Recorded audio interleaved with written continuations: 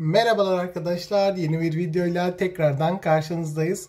Yalnız bugünkü videomuz gördüğünüz gibi değişik. Biliyorsunuz ki okullar e, yavaş yavaş tatil olmaya başladı ve bizim de derslerimiz artık bitti. E, yani ufaktan e, tatil sürecine girdik. Tabi bu tatili biraz da kutlamak gerekiyor. Farklı bir videoyla karşınızda olmak istedik. Bugünkü videomuz arkadaşlar e, yapabildiğim kadar elimden az da olsa geldiği kadar menemen yapmak. E, menemen yaparken sizlere hangi malzemeleri kullanacağımı, nasıl yaptığımı vesaire bunları anlatacağım. Dilerseniz ilk başta hangi malzemeleri kullanmam e, gerektiğinden bahsedeyim. Hemen olmazsa olmamız tabii ki tavamız var. Kapya biberimiz var. Domatesimiz var. Soğanımız var. Yalnız soğan e, bazıları menemende kullanmıyor ama ben kullanmayı seviyorum yumurtamız var, pul biberimiz var ve tuzumuz var. Bunları e, güzelce doğrayacağız.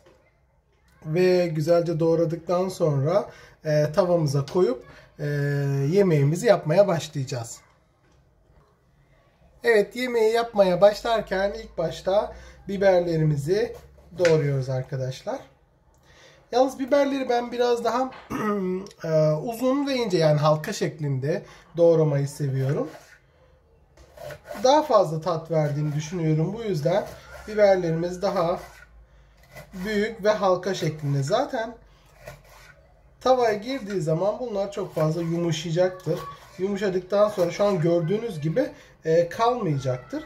Hem şekil olarak hem tat olarak daha iyi uyum sağladığını düşünüyorum. E, bu yüzden dolayıdır ki e, biberlerimi bu şekilde doğruyorum. Hemen doğradığım bir biberimi buradaki bir tabağa koyuyorum. Diğerine geçiyorum.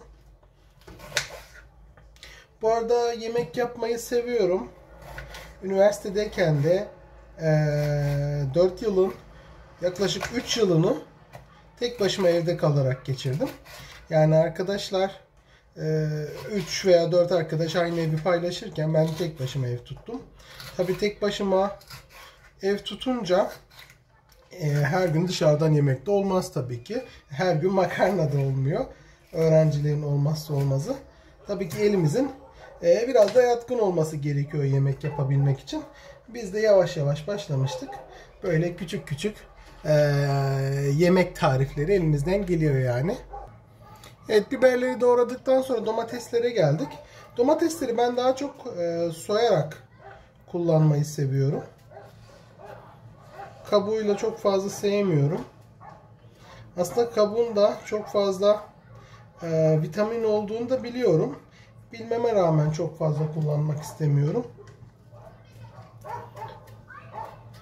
Hemen 3 tane yeterli olacağını düşünüyorum.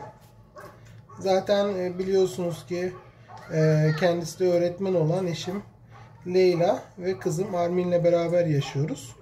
Armin tabii ki e, bu bu kadar güzel olacağını düşündüğüm menemeni şu an tadamıyor.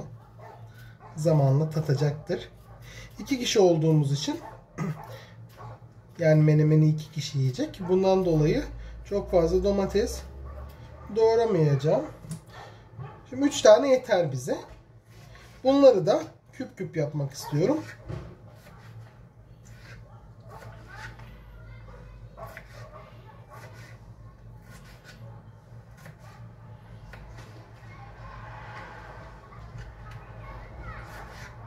Tekrardan belirteyim. Çok usta değilim.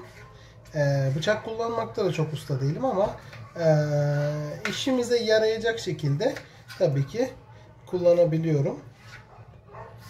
Domatesleri çok küçük doğramıyorum çünkü tavaya girdiği zaman zaten belli bir süre sonra ufalacaktır. Tamamen su olmasını da istemiyorum.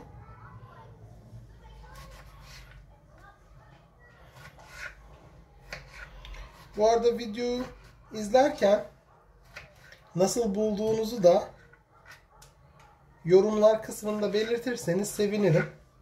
Kanalımıza da abone olmayı unutmayın lütfen. Bildirim zilini açmayı unutmayın. Videolar paylaşıldığı zaman e, ana ekranınıza düşsün diye.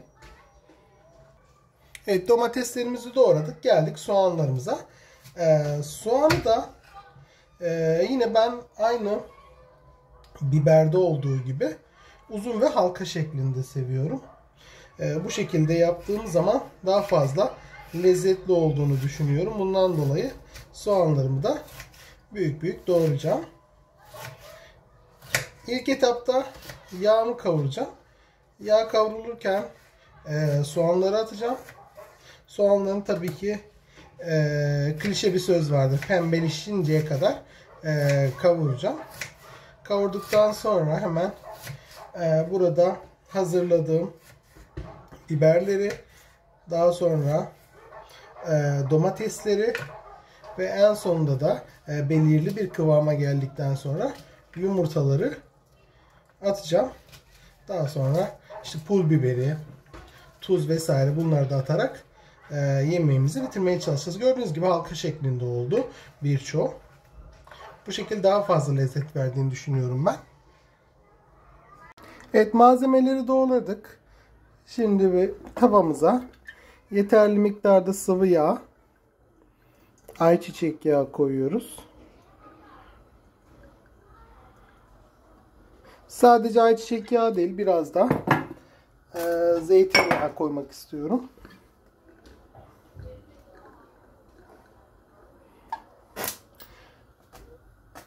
Yağın biraz kızarmasını bekleyeceğim. Yağ kızarırken üzerine biraz tuz.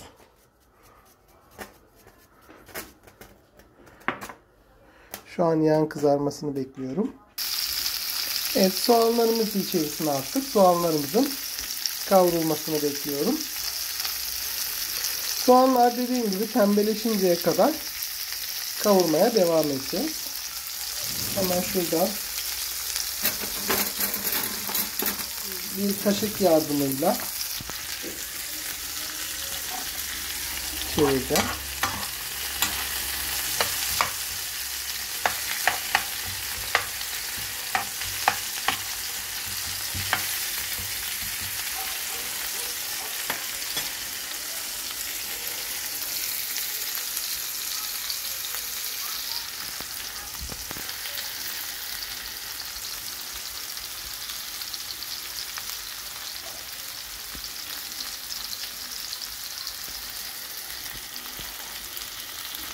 Evet soğanlarımız gördüğünüz gibi pembeleşmeye başladı.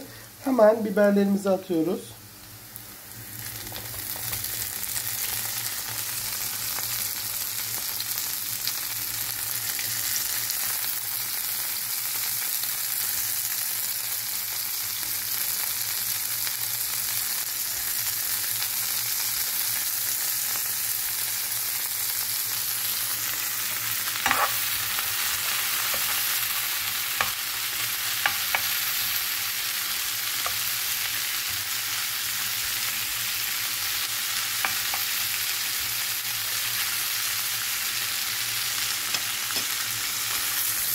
Biberlerimizin de biraz kendini bırakmasını, salmasını bekliyoruz.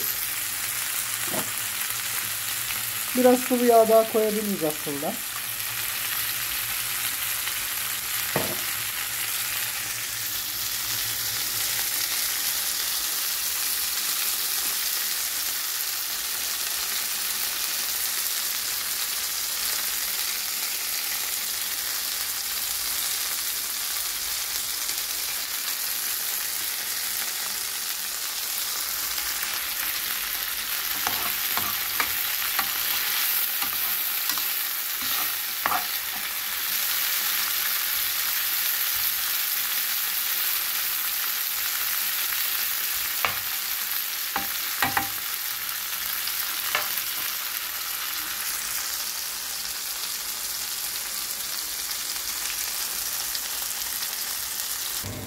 Evet, gördüğünüz gibi biberlerimiz biraz kendini bırakmaya başladı. Yavaş yavaş domateslerimizi koyabiliriz.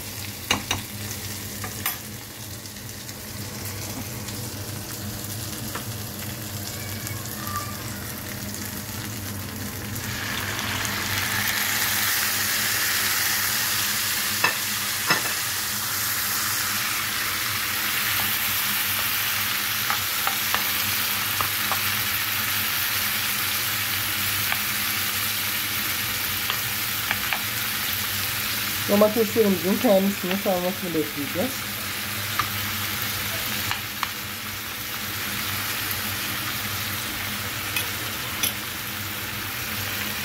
Bu esnada pul biber.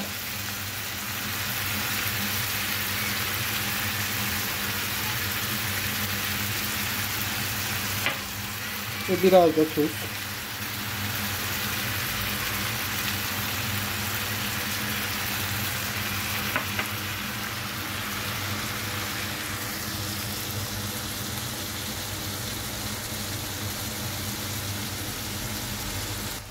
Evet. Hemen kapağını kapatıyoruz. Biraz sıvılaşmasını bekliyoruz. Evet bir bakalım ne durumda diye. Evet yavaş yavaş kıvama geliyor. Hemen kapatalım.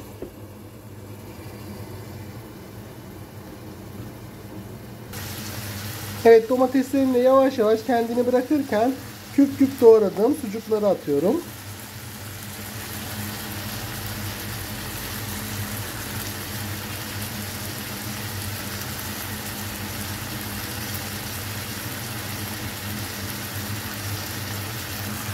Ve karıştırmaya başlıyorum.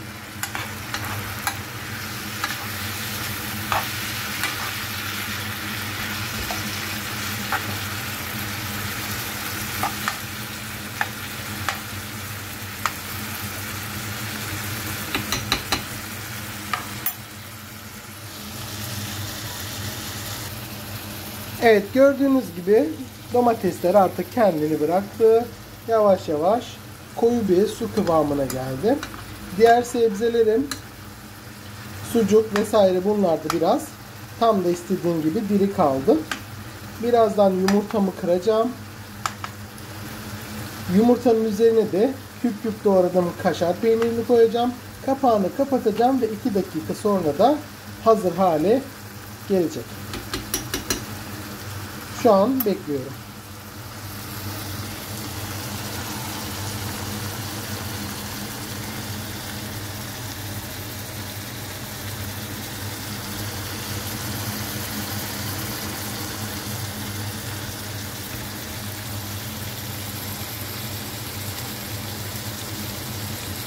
Evet hazır kıvama geldi ve hemen yumurtalarımı kırdım. Yumurtalarımı hafif biraz ayıracağım. Daha sonra belirttiğim gibi küp küp doğradığım kaşar peynirlerin üzerine koyup hemen kapağını kapatacağım.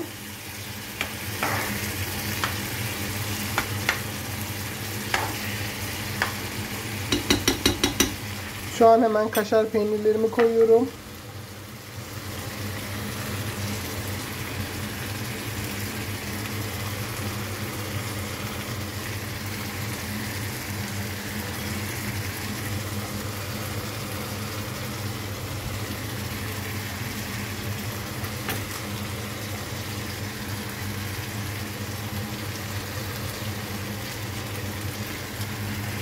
Ve kapağımı kapatıyorum. 2 dakika sonra hazır olacak. Evet 2 dakikamız geçti. Hemen bir bakıyoruz. Nasıl oldu diye. Evet açıyorum. Ve şu anki durumumuz bu şekilde.